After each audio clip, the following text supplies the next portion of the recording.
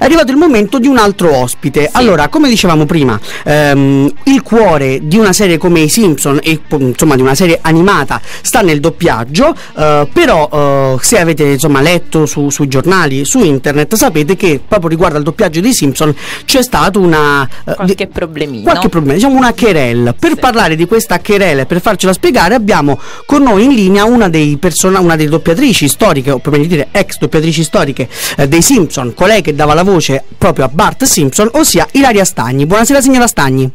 Buonasera a tutti, ciao a tutti, non vi faccio Bart perché sono in sciopero come, come avete detto. No, esatto. Non gliel'avremmo chiesto. Io un po' di curiosità ce l'avrei avuta, ma ovviamente non insisto. No, esatto. Allora, partiamo subito, andiamo subito nel vivo. Cosa è successo? Allora, io non so ancora se sono ex, perché in okay. realtà non ho saputo più niente e questa mi, mi, è una cosa che vi dà lo, lo specchio di quello che è la situazione. Allora, la situazione è questa, che praticamente dopo 25 anni di, di Simpson, o forse 24, ehm, ci è arrivata una lettera dicendo visto che noi siamo in crisi Mediaset deve tagliare per cui eh, vi volevamo proporre il 70% di sconto del vostro cachet che non è pochissimo 70% no esatto. Do, dopo 25 anni cioè non è che poi la serie è stata voglio dire eh, sai sei stato cattivo sei stato pessimo no anzi abbiamo contribuito credo anzi con, e neanche eh, poco sì.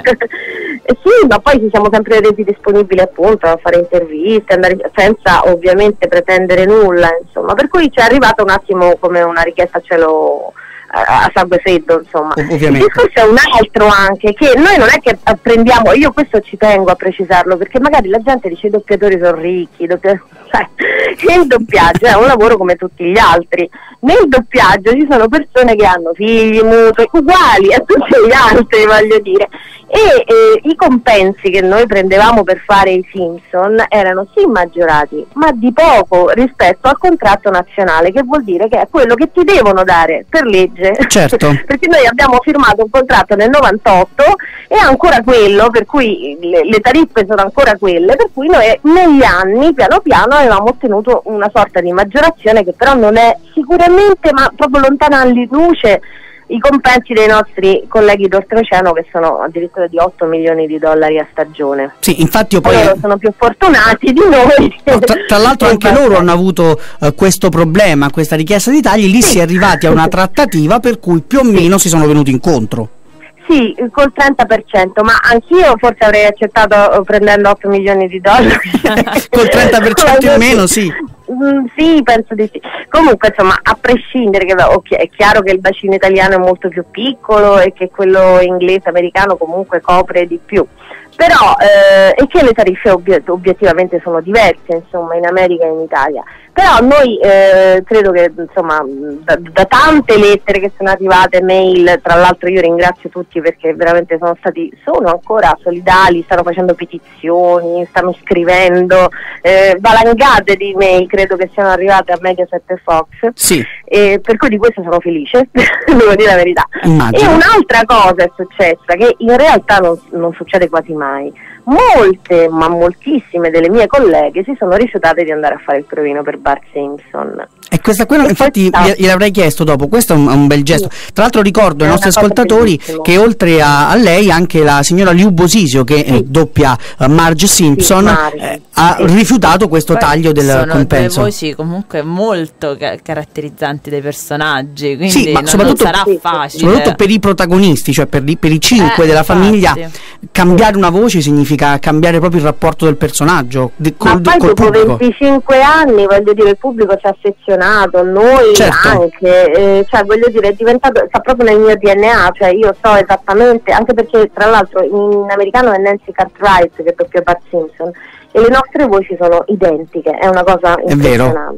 io ogni tanto io vedo le repliche su Fox e posso affermarlo, sì, è impressionante. Sì, il... fai il passaggio tra, tra, l'americano e l'italiano è praticamente... Ma, ma sì, è, stato, è, stato, fatto un grande, un grosso lavoro certo. all'epoca, anche perché appunto ci aveva scelto Matt Groening Sì. E che io credo che non sappia assolutamente nulla di tutta questa storia, tra l'altro. Dovrebbe dirglielo allora. tu, che, tu, Francesca che hai il telefono, no? contatti. No, invece io ho una domanda che riguarda un po' cioè, eh, il passato, l'esperienza, com'è stato invece, cioè, lasciando il finale che è tragico, diciamo, dell'esperienza con ah. Il finale poi è, tra l'altro non si sa nulla, nel senso che non si rispondono. Beh, la, la cosa ama- amarissima è che Tonina Colla che fa Homer sì. e sta facendo i provini per sostituirci, insomma, cioè questa è una cosa veramente ignobile. L'ultima notizia che so è che c'erano dei imitatori di Zelig che stavano provando a fare. Ok, bene. Allora, eh, superata l'amarezza per questa informazione. Sì. Peraltro dopo parleremo del declino qualitativo presunto della serie e se ci mettiamo anche queste notizie, in effetti. Ci viene un po' di tristezza. Appena un po'. Volevo sapere un po' dal suo punto di vista com'è stata stata questa esperienza con i Simpson, eh, le problematiche proprio a livello di, del, del, linguaggio, dello studio che c'è stato, e uh-huh. proprio come, come sono stati questi 25 anni?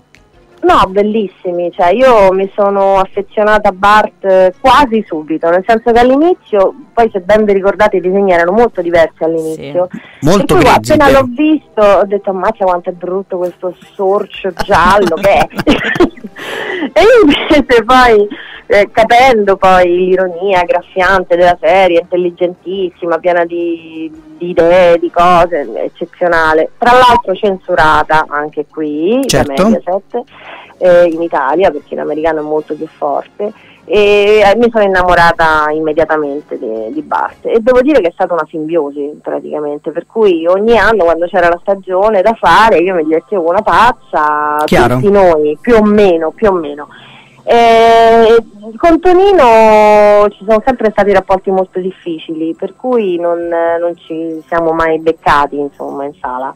Eh, entravo io, usciva lui e il contrario. Insomma. Okay.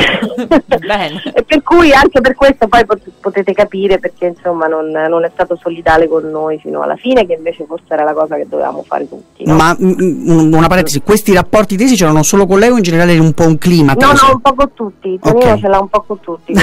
ok. okay. carattere, sarà carattere. Probabilmente. Io lo paragono un po' a Maradona perché tanto talento ma un carattere pessimo. Genius regolatezza, come si suol dire in questi casi. Sì, però neanche troppo mh, Genio. fascinosa come cosa. sì, ok, ho capito.